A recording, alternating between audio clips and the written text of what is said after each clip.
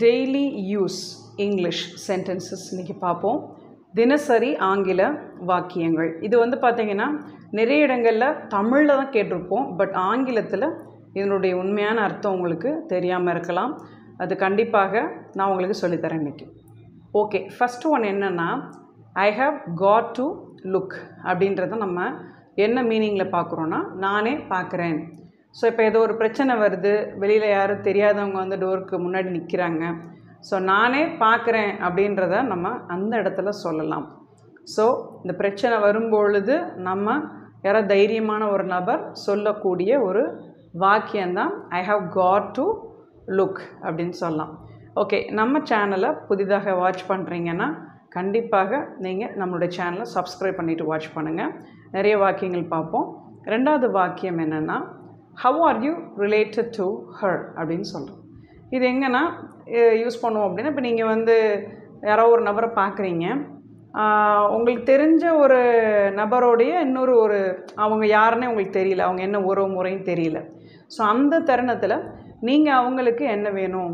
நீங்கள் அவங்களுக்கு தங்கச்சியா? இல்லை யார் அப்படின்றத நம்ம கேட்கும் பொழுது பயன்படுத்தக்கூடியது தான் how are you related to her அப்படின்னு கேட்கலாம். ஸோ இப்போ நீங்கள் அது பையனாக இருந்துச்சுன்னா how are you related to him so அவளுக்கு அவளுக்கு நீங்கள் என்ன வேணும்? இல்லை அவருக்கு நீங்கள் என்ன வேணும்னு சொல்லும்போது டு ஹிம் அப்படின்றதையும் நீங்கள் மாற்றிக்கலாம் ஸோ இந்த மாதிரி நீங்கள் நிறைய விஷயங்கள் கற்றுக்கிறதுக்கு தான் நான் வந்து உங்களுக்கு டிரான்ஸ்லேஷன் அப்படின்ற ஒரு கான்செப்டில் இந்த பைலிங்குவல் வேயில் உங்களுக்கு நடத்திட்டுருக்கேன் மூணாவது வாக்கியம் என்னென்னு பார்ப்போம். இது என்னென்னா you are already driving at a snail's pace so snail pace அப்படின்றது என்னென்னா இது வந்து பார்த்திங்கன்னா ஸ்னைல் அப்படின்றது இட்ஸ் அ ஸ்மால் இன்செக்ட் இது ஒரு குட்டியான ஒரு ஒரு இன்செக்ட் தானே. இது வந்து எப்படின்னா ரொம்ப மெதுவாக தான் நகர்ந்து போகும். ஸோ இப்போ இதை எங்கே த எந்த இடத்துல நம்ம பயன்படுத்திக்கலாம்னா இப்போ யாராவது வண்டி விட்டு போகிறாங்க இல்லை டிராஃபிக்கில் மாட்டிக்கிட்டாங்க அப்போ அந்த தருணத்தில் நீங்கள் வண்டியை அப்படியே என்ன சொல்கிறது வேகமாக போகாமல் ஊந்து போகிற மாதிரி போயிட்டுருப்போம் ஸோ அந்த தருணத்தில் இப்போ மட்டும் என்ன நீ ஃபாஸ்ட்டாக வண்டி ஓட்டுற உருட்டிட்டு தானே போகிற இந்த உருட்டிட்டு தானே போகிற அப்படின்ற கான்செப்டுக்கு எக்ஸாக்டான ஒரு வார்த்தைனா இந்த வார்த்தை தான் ஸ்னெயில்ஸ் பேஸ் அப்படின்னு சொல்லலாம். ஸோ இதை நீங்கள் மறந்துடாமல் நோட் பண்ணிக்கங்க. அடுத்த வாக்கியம் மூணாவது. தங்களின் சேவை தற்போது நிறுத்தி வைக்கப்பட்டுள்ளது. இது வந்து பார்த்திங்கன்னா நீங்கள் ஃபோன் பண்ணி உங்களுக்கு வந்து சர்வீஸ் வந்து கட் பண்ணியிருப்பாங்க நீங்கள் ஒருவேளை பேமெண்ட் பண்ணாமல் இருப்பீங்க பில் பே பண்ணாமல் இருப்பீங்க. அப்போ வந்து ஒரு தற்காலிகமாக அவங்களுக்கு வந்து அந்த இதை தடை பண்ணி வச்சுருப்பாங்க. ஸோ அப்போ அந்த தருணத்தில் அவங்க பேசுவாங்க your service has been temporarily suspended அப்படின்னு சொல்லுவாங்க. ஸோ டெம்ப்ரவர்லி அப்படின்றது நிரந்தரமாக இல்லாமல் தற்காலிகமாக அப்படின்னு சொல்லும்போது நம்ம பயன்படுத்தக்கூடியது. ஸோ நீங்கள் பில் பே பண்ணலைன்னா இந்த மாதிரி பிரச்சனைகள்லாம் உங்களுக்கு நீங்கள் மற்றவங்களுக்கு கால் பண்ணும்போது வரும். ஸோ அந்த தருணத்தில் உங்களுடைய சர்வீஸ் வந்து தற்காலிகமாக தடை செய்யப்பட்டுள்ளதுன்றது தான் நம்ம இந்த மெத்தடில் தான் ஆங்கிலத்தில் எழுத முடியும் சொல்லவும் முடியும். ஃபோர்த் ஒன் பார்ப்போம் என்னென்னு. How long they take to answer a phone call ஒரு ஃபோன் எடுக்க இவ்வளவு நேரமாங்க? எவ்வளோ நேரம் ட்ரை பண்ணிகிட்ருக்கேன் ஒரு ஃபோன் எடுக்கிறதுக்கு இவ்வளோ நேரம் நீங்கள் பண்ணுறீங்க நம்ம ஒருத்தரை கோபமாக திட்டும் பொழுது ஒருவேளை ஃபோனே அவங்க எடுக்காமல் ரொம்ப நேரம் கழித்து வந்து ஒரு அஞ்சு அஞ்சு அஞ்சாறு மிஸ்டு கால்ஸ் நீங்கள் விட்டுருப்பீங்க. அவ்வளோ தூரம் லாங்காக நீங்கள் ரிங் போயிருக்கோம். உங்களுக்கு கோவம் வரும்போது நீங்கள் சொல்லலாம் how long they take to answer a phone call எவ்வளோ நேரம் எடுக்கிறாங்க பாருங்கள் ஒரு ஃபோன் கால் அட்டன் பண்ணுறதுக்கு இப்படி பண்ணுறாங்களே அப்படின்னு நம்ம சொல்லும் பொழுது கோமா சொல்லும்போது நீங்கள் யூஸ் பண்ணக்கூடிய ஒரு முக்கியமான ஒரு வாக்கியம்தான் இது. ஓகேங்களா ஸோ இந்த மாதிரி வாக்கியங்களுக்கு நீங்கள் கண்டிப்பாக நம்மளுடைய சேனலை லைக் பண்ணுங்கள் ஷேர் பண்ணுங்கள் அடுத்து பாருங்கள் இது ரொம்ப முக்கியமான ஒரு வாக்கியம்ங்க. இது வந்து ஒழுக்கமாக சாரி கேட்கவில்லைன்னா என்ன சீன் வேறு மாதிரி ஆயிரும் சரியா? நிறைய விளைவுகளை சந்திக்க வேண்டியது இருக்குன்னு கூட நம்ம சொல்லலாம். ஸோ இதை வந்து நம்ம நிறைய இடத்துல மன்னிப்பு கேட்குறதுக்கு ரொம்ப திமிர் பண்ணுறவங்க நம்ம மேபி நம்ம ஃப்ரெண்ட்ஸ்டே நம்ம கலோக்கியலாக கொஞ்சம் மிரட்டுற மாதிரி காமெடி பண்ணுவோம்ல அந்த டைம்லேயும் யூஸ் பண்ணிக்கலாம். பட் இது நிஜ வாழ்க்கையிலையும் சில பேர் மிரட்டுறதுலேயும் உங்களுக்கு நடக்கக்கூடிய ஒரு வாக்கியம்தான். இதுக்கு வந்து மன்னிப்பு அப்படின்றதுக்கு என்னென்னா அப்பாலஜைஸ் அப்படின்னு சொல்லுவோம். ஆர் யூ வில் இல்லைன்னா ஆர் ஆர் போட்டுட்டு you will face dire consequences so dire அப்படின்றது என்ன ப- ரொம்ப பயங்கரமான விளைவுகள் அப்படின்னு நம்ம சொல்லும்போது டயர் அப்படின்ற வார்த்தையை யூஸ் பண்ணிக்கலாம். ஸோ இது ஒரு புது வார்த்தை தான். நீங்கள் அந்த புது வார்த்தையெல்லாம் நோட் பண்ணி வைங்க உங்கள் நோட்டில் எழுதி வச்சுட்டு இதை நீங்கள் ப்ராக்டிஸ் பண்ணுங்கள் மற்ற இடத்துல you you you can try to use all these words சரி அடுத்தது என்னன்னு பார்ப்போம். இப்போ வந்து ஒருத்தவங்க ஃபோன் பண்ணி சும்மா ஏதாவது கலாய்ச்சிட்டு இருப்பாங்க.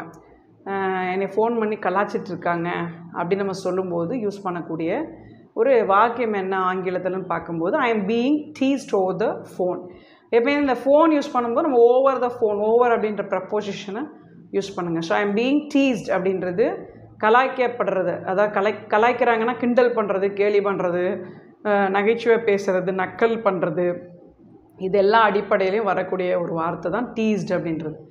ஸோ இந்த மாதிரி யாராவது உங்களுக்கு ஃபோன் கால் மூலமாக டீஸ் பண்ணாங்கன்னா you could say I am being teased over the phone அப்படின்னு நீங்கள் சொல்லலாம். ஓகே ஸோ இதே மாதிரி நீங்களும் ஒரு சென்டென்ஸ் எனக்கு மேக் பண்ணி அனுப்புங்க.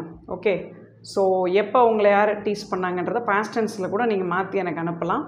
அடுத்தது பாருங்கள் காலையிலிருந்து கையும் ஓடலை காலும் ஓடலை. இது எங்கே நம்ம பயன்படுத்துவோம்? ரொம்ப பிஸியான ஒரு வெக்கேஷன் அல்லது ஒரு ஒரு ஃபங்க்ஷன் ப்ரோக்ராமில் ரொம்ப பிஸியாக போய்டும். காலிலேருந்து நான் என்ன செய் இங்கேயும் அங்கேயும் பறந்துக்கிட்டு தான் இருக்கேன். கையும் ஓடலை காலும் ஓடலைங்க. அப்படின்னு பரபரப்பாக நீங்கள் இருக்கிற சூழ்நிலையை நம்ம சொல்லக்கூடியதான் I am very flustered since to morning so since மார்னிங்கிறது காலையிலேருந்து அப்படின்னு சொல்கிறது ஃப்ளஸ்டர்ட் அப்படின்றது என்னென்னா அந்த பதட்ட நிலையாக இருக்கிறது கையும் ஓடாமல் காடு காலும் ஓடாமல் இருக்கக்கூடிய நிலையை தான் நம்ம அந்த வார்த்தை முக்கியமாக அந்த கையும் ஓடலை காலும் ஓடலைன்றதை நம்ம எக்ஸாக்டாக ட்ரான்ஸ்லேட் பண்ண முடியாது. பட் அதுக்கு வந்து அக்யூரேட்டான ஒரு வேர்டு வெக்கேபுலரினா ஃப்ளஸ்டர்ட் அப்படின்றதான் நீங்கள் சொல்லணும். ஸோ நீங்கள் ரொம்ப பதட்ட நிலையில் இருக்கிறீங்க உங்களால் எந்த வேலையும் உருப்படியாக செய்யாமல் அங்கிட்டு இங்கிட்டு ஆக்டிவாக ஓடிட்டு இருக்கீங்க அப்படின்றத குறிக்கும் பொழுது நீங்கள் தாராளமாக ஃப்ளஸ்டர்ட் அப்படின்ற வார்த்தையை யூஸ் பண்ணிக்கங்க. சரி ஓகே ஸோ இந்த மாதிரி நீங்கள் எனக்கு ஒரு வாக்கியம் நீங்கள் சொல்லுங்கள் அதாவது காலையிலேருந்து இந்த மாதிரி உங்களுக்கு கையும் ஓடலை காலும் ஓடலை அப்படின்ற சுச்சுவேஷன் எனக்கு நீங்கள் காமெண்ட் செக்ஷனில் தெரிவிங்க. அடுத்து பாருங்கள் எட்டாவது மரியாதையாக மண்டிட்டு தலை வணங்கு. இது நம்ம யார்கிட்ட கேட்போன்னா யாராவது ரொம்ப நம்மளை டீஸ் பண்ணியிருப்பாங்க இல்லை நிறையா நீங்கள் சீரியலில் இதெல்லாம் பார்த்துருப்பீங்க. அப்போ சொல்லுவாங்க அவர் வந்தோடனே மரியாதையாக அவர் காலை மண்டிட்டு என்ன செஞ்சிடணும்? தலை வணங்கி வணங்கிடணும் அப்படின்னு மிரட்டக்கூடிய ஒரு டயலாக் கூட நம்ம வச்சுக்கலாம்.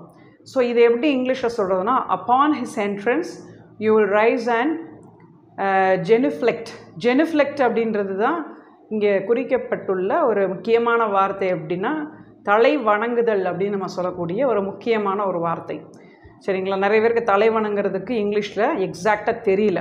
ஸோ ஜெனிஃப்ளெக்ட் அப்படின்ற ஒரு வார்த்தை தான் நீங்கள் முக்கியமாக யூஸ் பண்ணக்கூடிய ஒரு வெக்காபுலரி ஸோ இதை நீங்கள் வந்து எங்கேயாவது தலை குனிந்த நிலை தலை குனிவாக அதாவது இங்கே இந்த என்ன சொல்கிறது குப் மொத்தமாக நீங்கள் தலை குனிஞ்சு நிற்கக்கூடிய சூழ்நிலை எனக்கு ஏதாவது நீங்கள் லிஸ்ட் அவுட் பண்ணுங்கள் ஒன்பதாவது கேட்கவே தமாசாக இருக்குல்ல அது கோ ஒரு காமெடியாக சொன்னால் கேட்கவே தமாசாக இருக்குங்க இவர் சொல்கிறது இவங்க சொல்கிறது so how weird is that so weird அப்படின்றது அந்த என்ன சொல்கிறது ஒரு வித்தியாசமாக இருக்கிற ஒரு சூழ்நிலைக்கு நம்ம அதிகமாக பயன்படுத்துவோம்.